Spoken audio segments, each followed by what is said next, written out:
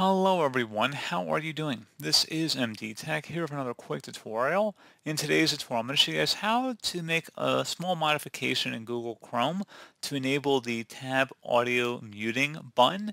So basically instead of having the audio icon, you're going to have a mute button. So it should be a pretty straightforward process guys. Let's go ahead and jump right into it. So just going to give you guys an example here. So if I were to go to YouTube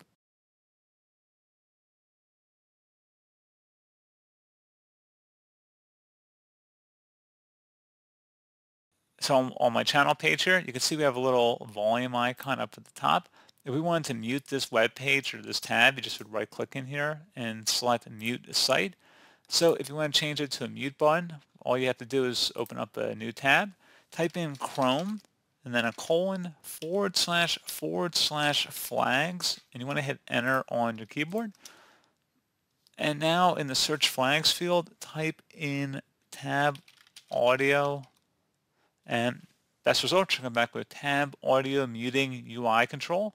When enabled, the audio indicators in the tab strip double as tab audio mute controls.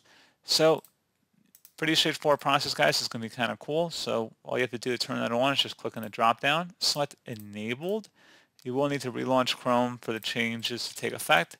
So I'm actually going to just copy my address bar. It looks like I do have it set to reload the existing pages, but I wasn't entirely sure. That's why I saved the link. So now if you wanted to mute a video directly, just start playing a video in the tab itself. And if you just clicked on the audio icon, so now it'll just mute or unmute just by clicking on the icon itself. No need to right click on the tab and then unmute or mute it. So pretty straightforward process, guys. Just saves you a couple clicks.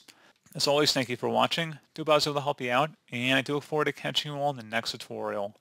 Goodbye.